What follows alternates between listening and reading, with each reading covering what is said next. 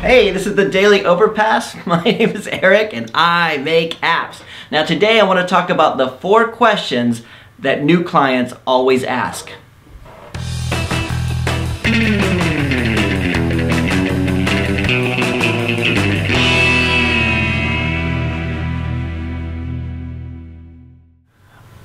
Right, so today I want to talk once again about working with clients. Now, I know some of you guys out there don't care anything about working with clients. You're not interested in it at all. And it can be a lot of hard work. It can be very challenging. It can be very frustrating sometimes. But you know, it can be very rewarding too. And at the end of the day, the bills have to be paid. So for those of you who have enough revenue coming in from your apps that you're able to to pay all the bills and everything like that and you don't have to worry about working with clients and that's fantastic. I mean i have been there before. Actually I, I, think i'm there now but i have the team and we're you know it's, it's never enough. I want more more more right?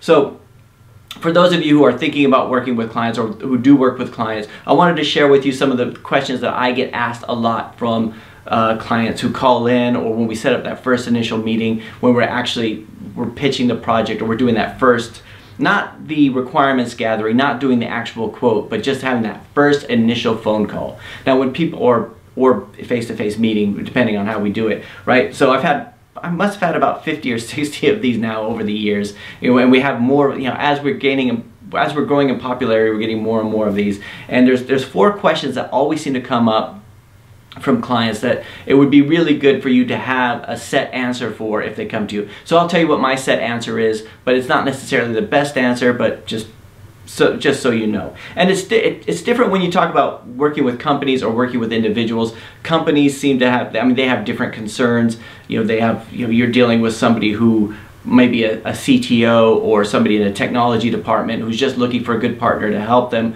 with, with their stuff, or you're dealing with an individual who would like to earn revenue and have a little bit of money coming in. Uh, and in the wildest dreams, being the, the millionaire, the, you know, the new Snapchat or whatever, but you know, on more realistic terms, just having something that, that generates a bit of money. So that so these are the questions that always come in.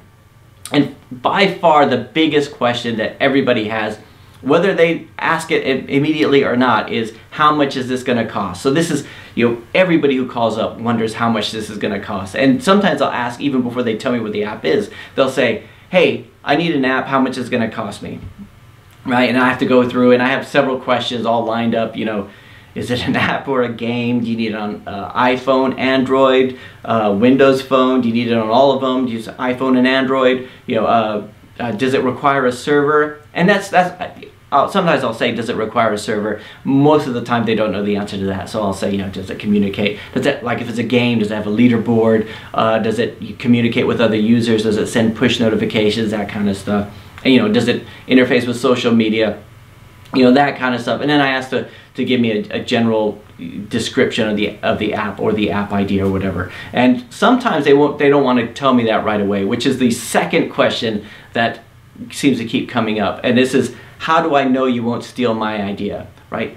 Probably about 80% of the time that I talk with new clients, I do an NDA, right? And it's it's, it's for an individual the the concern is that I'm going to take their idea and run with it and I've got loads of free time and I can just build it and put it out there. So one of the things I have to say is that you know I'm at, we're actually really busy and I've got loads of, of ideas I would like to work on myself but we just don't have the time for However, I'm happy to sign a non-disclosure agreement. I have this template. You know, just give me a bit, a few details, and we'll send that over to you signed, and that's you know that's the end of it. With companies, it's different. They still want you to sign the NDA, and it's not so much because they're afraid you're going to steal their idea, because this could be very specific to their company. So, like, let's say it's like a warehouse application or something like that you know, they're not worried that you're going to take it and build your own warehouse application, right? But they're more concerned that you're going to go on social media and say, hey, you know, uh, let's say Sony. Sony contacted me because they want me to build their big app, right? And they haven't really approved. They're just calling around. They haven't really approved anything of it. So they they want that to be kind of hush hush. I mean, in fact, I met with once I met with a client that were like a big publisher, and they were talking about how they they uh, were talking to another developer before me, and they were they were just in the initial stages of talking about what they want to develop, and the developer went and shared it on their blog, saying, "Hey, such and such publisher is going to work with us." So, and that scared me so much that that I have to assure uh, new clients that you know I don't really advertise my clients. We don't have a, a my clients page on the website. You know, you can leave a testimonial if you want, but you know, by and large, it's just you know we're just trying to do you know it, it's not it's not my story it's your story. You're the one building the app i'm the one helping you build the app. So that's you know that's where we go with that. Uh, the third biggest question is and this is again this goes to individuals who want to who want to make money from the apps is will this idea work? And this is one that again i can't answer. But I, I, well i'll answer it with the telling them about some of my apps. So you know my biggest app which you, I was asking all my friends and everything, do you think this will work? And was my family, do you think this will work? You know, Ear Agent, you, you hear people's conversations, it works like a hearing aid, right? And more, most of the people told me it was a dumb idea. They would say, yeah, it doesn't really sound like something that would work, or it sounds creepy, or I don't think you should do it, right? But I did it anyway, and it's made, you know, hundreds of thousands of pounds the, over the last few years, right? And I have other applications which I thought, oh, this is gonna be huge, and they just went, right? Well, so far they haven't picked up. So, so I'll tell these kind of stories, and I'll say, like, I, if I knew what would work and what wouldn't, then I would only do the things that worked and I wouldn't be doing client work at all. So that would be up to you. That's a risk that you have to take. It's a risk that every app developer or app owner has to take. Right? So, and then the fourth question, and this and this is mostly with companies, is you know, will we be able to take the code afterwards? Or are we going to be tied to you as a developer going forward? You know, are you going to have a percentage of it? You know, sometimes Uh, like with individuals, the, the first question will be, you know, I don't, or they'll say, I don't have any money.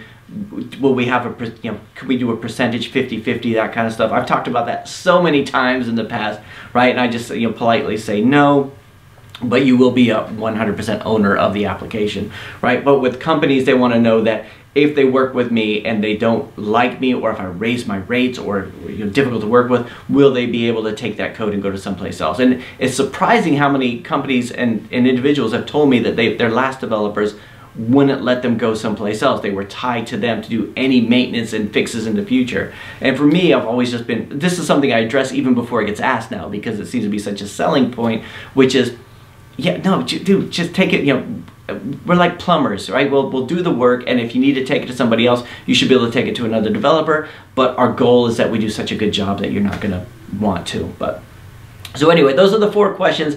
If you do work with clients, it you know, like I said, it, it can be very challenging, but it's also you know looking, you know, just showing that you know what you're doing, you know, and having you know ready answers to those questions would probably help out a lot. So anyway, I hope that helps a little bit.